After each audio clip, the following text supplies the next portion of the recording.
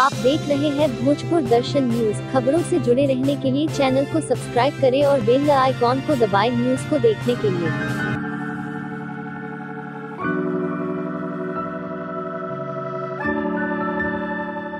तुम मुझे यूँ भुला न पाओगे। यह फनकार है विश्वविख्यात मोहम्मद रफी साहब के, जिसे गाकर सुनाया मोहम्मद रफी साहब के सुपुत्र, शाहिद रफी जी ने। जी हाँ मैं हूँ रंजना, और हमारे चैनल से खास बातचीत की शाहिद रफी जी ने। हम हाजिर हैं कार्यक्रम में। दर्शकों, आपका स्वागत है। दर्शकों, जैसा कि आप जानते हैं कि प्रतिदिन एक नए मेहमान से मिलते हैं और आप अपने दिल की बातों को जानकारी लेते हैं। तो आज आपके हर बातों की जानकारी देने के लिए हमारे साथ हैं। दुनिया के जाने माने पहचाने, जिनका नाम ही काफ़ी है, वो हैं हमारे आदरणीय, पूजनीय, स्वर्गीय मोहम्मद रफ़ी साहब के सुपुत्र मोहम्मद शाहिद रफ़ी साहब। मैं अपने भोजपुर वासियों की ओर से, भोजपुर दर्शन के सभी दर्शकों की ओर से बिहार वासियों की ओर से शाहिद साहब आपको बहुत बहुत बधाई, शुभकामना। शाहिद रफी कहते हैं मुझे अगले जन्म में भी यही माँ बाप मिले। शाहिद साहब आप तो वैसे एक परिवार से बिलोंग करते हैं जिनका नाम ही काफ़ी है। जी। कितना कुछ अंतर आपने देखा जीवन के कई दशक आपने बिताया क्या अंतर आपने महसूस किया है? महसूस तो मैं यही बता सकता हूँ कि मतलब मैं तो ऊपर वाले का शुक्रगुजार हूँ और उससे वाकई में बहुत बहुत मतलब ऐसा है कि ऊपर वाले का मैं इतना शुक्रगुजार हूँ कि मुझे इस खानदान में पैदा किया, सबसे पहले। और दूसरी बात ये कि जैसे लोग बोलते हैं कि दूसरा जन्म है, दूसरा जन्म होता है, ये सब। तो मैं यही चाहूँगा कि मतलब मेरे अगले जन्म में भी यही माँ बाप मुझे मिले। तो अब आप ये सोच सकते हैं मतलब कि जब से मेरे वालिद गए दुनिया को छोड़ के गए।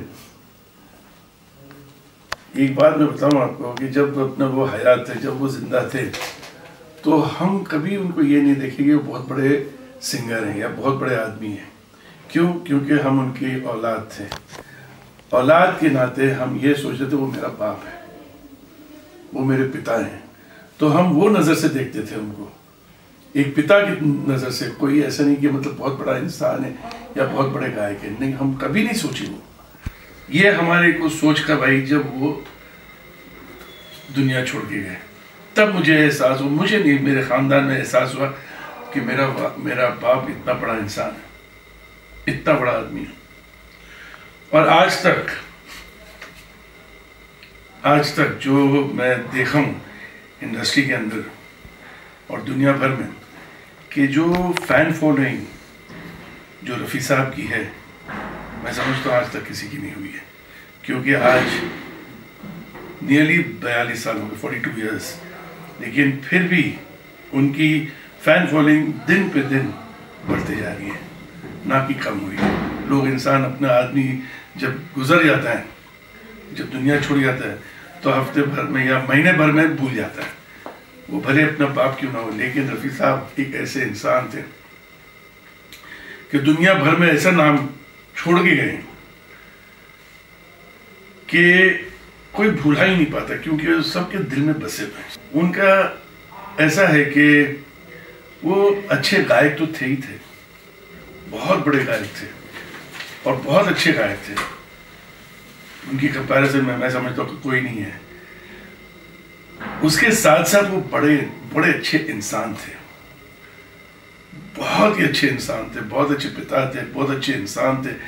मतलब उससे पिता नहीं, लेकिन मैं समझता हूँ कि दुनिया में कोई ऐसा इंसान नहीं होगा, कहेगा कि ना रफी साहब ने मेरे लिए ये मतलब गलत जो है, मैं नेगेटिव पॉइंट से बात कर रहा हूँ कि कोई इंसान इंडस्ट्री में हो या बाहर हो या रफी साहब ने कुछ भी ऐसा मुझे नेगेटिवनेस ने बात की है कभी नहीं। तो आज भी हम घर में बैठे रहते हैं तो ऐसे लगता है कि जैसे हमारे अब्बा हम अब्बा बोलते थे। जी। तो हमारे अब्बा गए हुए हैं रिकॉर्डिंग में और शाम तक आएँगे लौट कर आएँगे हम लोग के साथ बैठेंगे बातें करेंगे। आज भी ऐसा महसूस होता है। आज भी गाने लगते हैं आज आप यकीन करिए एफएम लगाइए। शाम के वक्त दोपहर के टाइम पे कभी कभी अपना गाने पूरा अपना कम से कम एक घंटा चलता है। और अब्बा के गाने सुन रहे रेडियो पे चलो ये होता है कैसेट में सुन लिए या, या सीडी पे सुन लिए या पेन ड्राइव पे सुन लिए ये सब अपना जो चल रहा है। लेकिन उसके बावजूद देखिए रेडियो पे भी चल रहे हैं। तो वो हर इंसान के दिल में बसे हुए तो उनको कोई भुला नहीं सकते। शाहिद साहब बहुत आपने बहुत अच्छी बात कहा कि रफी साहब को कोई भुला नहीं सकते हैं। जब तक यह धरती और आसमान रहेगा, तब तक रफी साहब का इस धरती पर नाम रहेगा, विश्व में नाम रहेगा।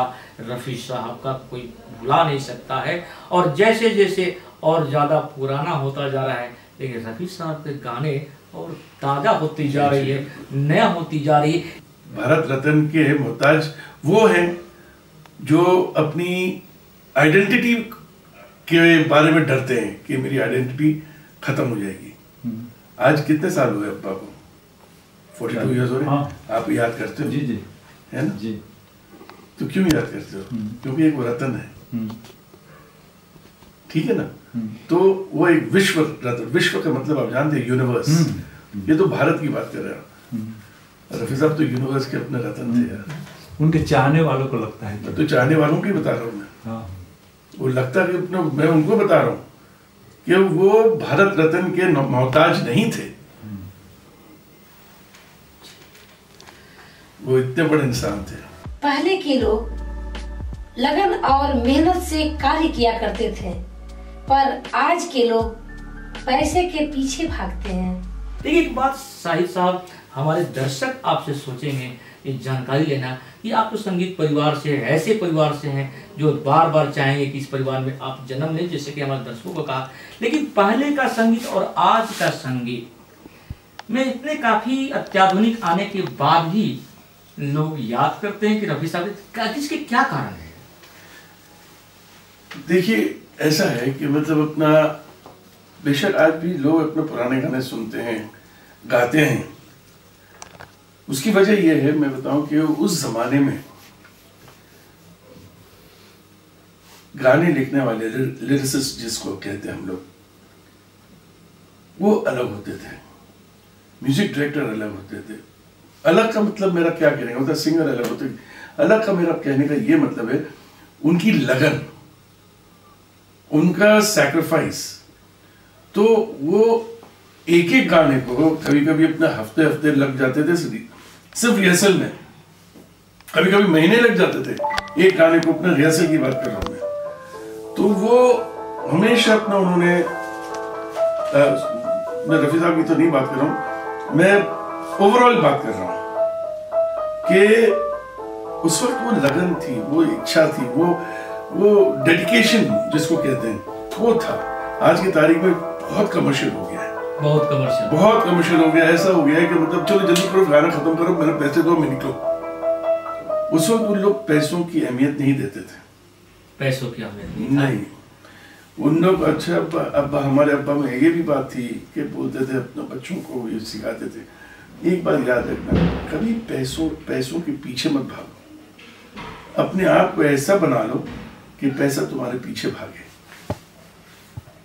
तो उस हिसाब से आप ये सोच सकते हैं कि उस जमाने में लोगों लोगों की सोच क्या थी?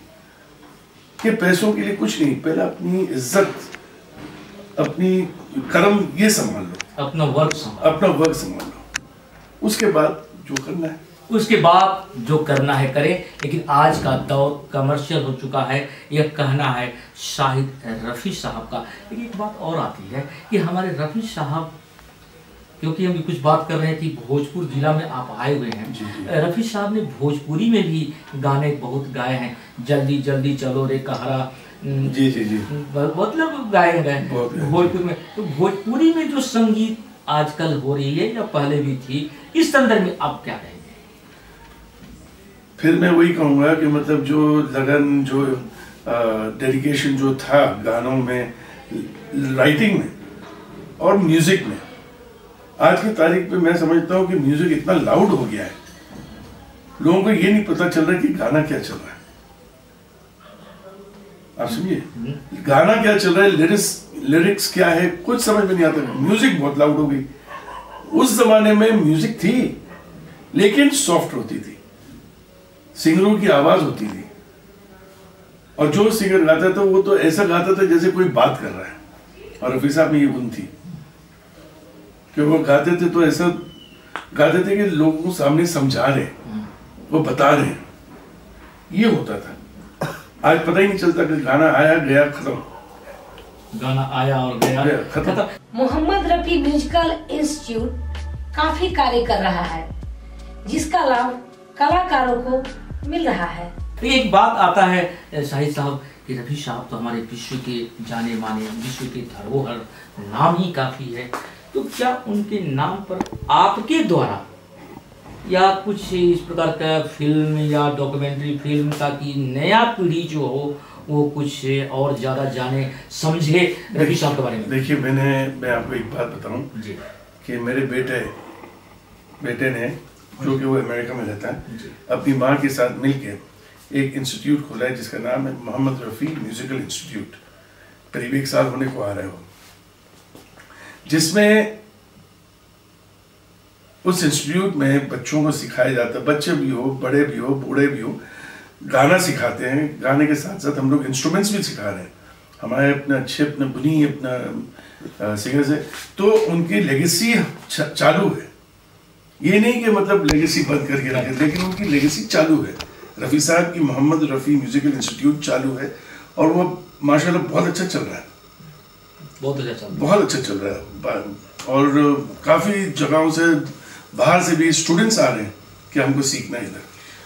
तो वो सब चल रहा है चल रहा है। बहुत कुछ कार्य हो रही है कार्य। जारी है। बिल्कुल। और मैं भी अपना कुछ और अपना करूँगा लेकिन वो मैं अभी अनाउंस नहीं करना चाहता। मैं करूँगा ज़रूर जी उसको अभी आप पर्दे के पीछे ही रखना चाहते हैं। शाहिद रफी कहते हैं कलाकारों को मेहनत करनी चाहिए फल की चिंता नहीं।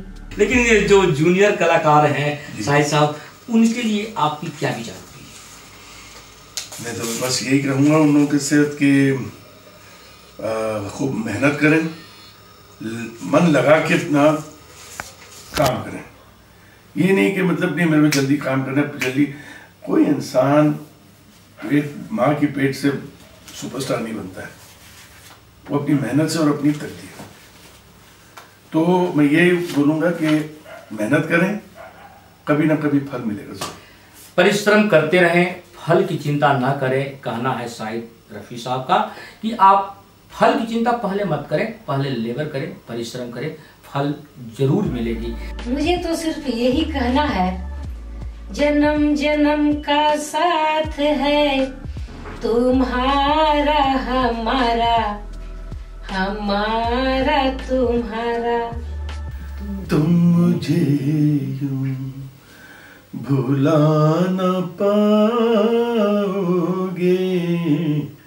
हाँ तुम मुझे यूँ जब कभी भी सुनोगे गीत मेरे। संग संग तुम भी गुनगुनाओगे हाँ तुम मुझे। बहुत बहुत भोजपुरवासियों की ओर से सभी दर्शकों की ओर से मोहम्मद शाहिद रफी साहब आपको बहुत बहुत बधाई।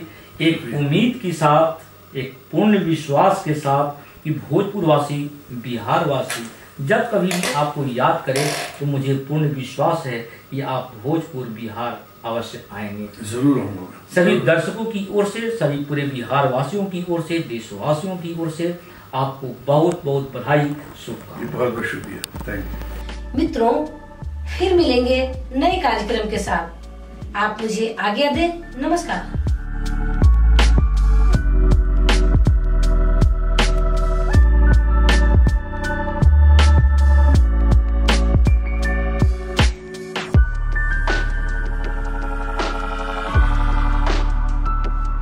देख रहे हैं भोजपुर दर्शन न्यूज़। खबरों से जुड़े रहने के लिए चैनल को सब्सक्राइब करें और बेल आइकॉन को दबाएँ न्यूज़ को देखने के लिए।